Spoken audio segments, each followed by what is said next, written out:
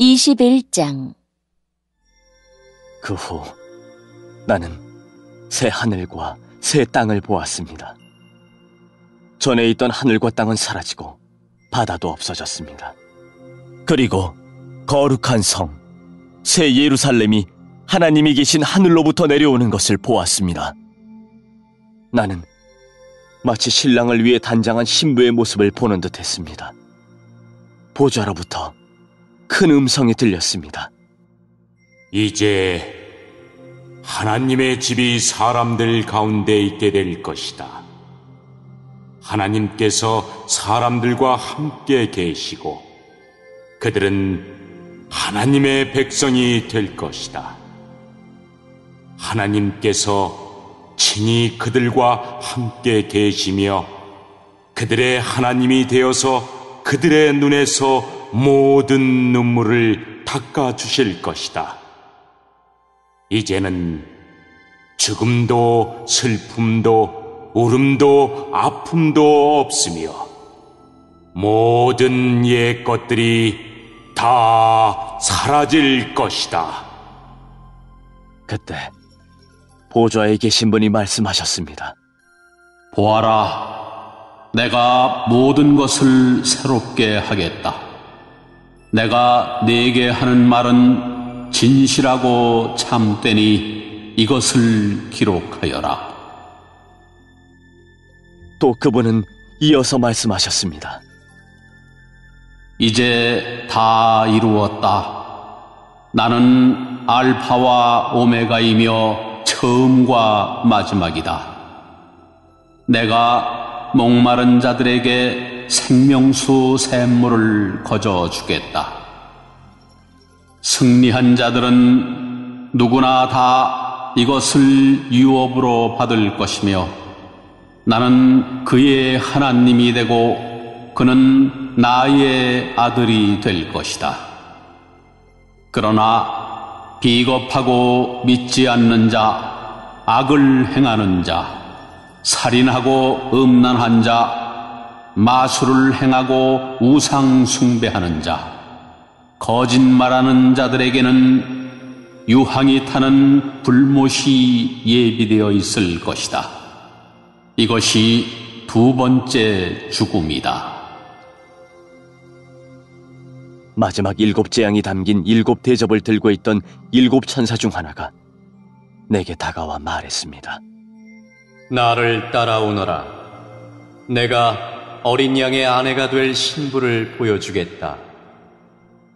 천사는 성령의 도우심으로 나를 매우 크고 높은 산으로 데리고 올라갔습니다. 그는 내게 거룩한 성, 예루살렘이 하나님이 계신 하늘로부터 내려오는 것을 보여주었습니다. 그 성은 하나님의 영광의 광채에 둘러싸여 귀한 보석과 수정과도 같이 맑은 벼곡처럼 밝게 빛나고 있었습니다. 그 성에는 열두 대문이 있는 높고 큰 벽이 둘러서 있었습니다.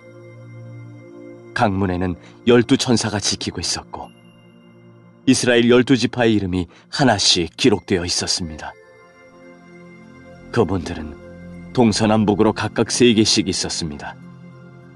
성벽 열두 주춧돌에는 어린 양의 열두 사도의 이름이 새겨져 있었습니다. 내게 얘기하던 천사는 금으로 만들어진 자를 들고 있었는데 그는 이 자로 성과 성문과 성벽을 재려는 참이었습니다.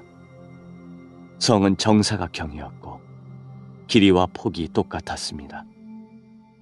천사가 재어보니 길이와 폭과 높이가 똑같이 12,000 스타디온이었습니다. 그리고 성벽 높이는 144규빗이었습니다. 천사는 사람들이 쓰는 자로 이 모든 것을 지었습니다. 성벽은 벽옥으로 만들어졌고 성 전체가 유리처럼 맑은 순금으로 지어져 있었습니다. 성벽의 주춧돌에는 각종 보석이 박혀 있었는데 첫째 주춧돌은 벽옥, 둘째는 사파이어, 셋째는 옥수, 넷째는 에메랄드, 다섯째는 홍마노, 여섯째는 홍보석, 일곱째는 황옥, 여덟째는 노곡, 아홉째는 담황옥, 열째는 노곡수, 열한째는 청옥, 열두째는 자수정으로 꾸며져 있었습니다. 열두 대문은 각각 한 개의 커다란 진주로 만들어졌고 성의 거리는 유리처럼 맑은 순금으로 되어 있었습니다. 나는 성 안에서 성전을 볼 수 없었습니다. 그 이유는 전능하신 주 하나님과 어린 양이 바로 성전이시기 때문입니다. 그 성에는 해와 달도 필요가 없었습니다. 그것은 하나님의 영광의 광채가 빛이 되고 어린 양이 그 성이 등불이 되시기 때문입니다. 세상 모든 민족이 그비아에 걸어다니며 온 땅의 왕들도 영광스러운 모습 그대로 성으로 들어올 것입니다. 밤이 없기 때문에 성문은 결코 닫히는 법이 없습니다.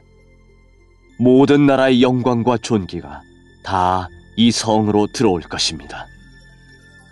그러나 깨끗하지 못하고 부끄러운 것이나 거짓말한 자들은 이 성에 들어올 수 없습니다.